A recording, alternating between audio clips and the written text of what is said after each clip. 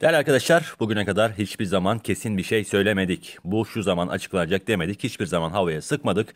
Ek kılavuz bekleniyor, ek yerleştirme kılavuzu bekleniyor. Biz bugüne kadar geçmişlere baktık ve geçmişime baktığınızda bütün tarihleri net şekilde söylediğimi göreceksiniz. Yükseköğretim Kurumları sınavı 2021'de arkadaşlar YKS ek yerleştirme tercihlerinin alınması ne zamanmış? 20-23 Eylül arasındaymış. Duyuru ne zaman gelmiş? 20 Eylül'de gelmiş değerli arkadaşlarım. 2020'de YKS ek yerleştirme tercihlerin alınması ne zamanmış? 17-23 Eylül arasındaymış. Duyuru ne zaman gelmiş? En üstte görüyorsunuz. 17 Eylül'de gelmiş.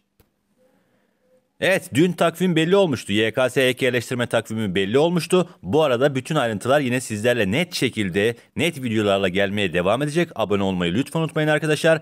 7-13 Eylül 2022 tarihlerinde yapılacak. Bu takvimi öğrendik. O zaman duyuru ne zaman gelecek? Bütün geçmişe baktığımızda 7 e, Eylül çarşamba günü sabah kılavuz yayınlanacaktır arkadaşlar ve tercihler başlayacaktır diyorum. Bugüne kadar böyle olmuş. Yarın olur mu hocam?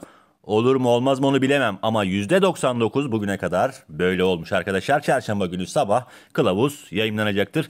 Hepinize şimdiden kolay gelsin diyorum ve hayalinizdeki o üniversiteye inşallah kavuşursunuz diyorum. Hoşçakalın.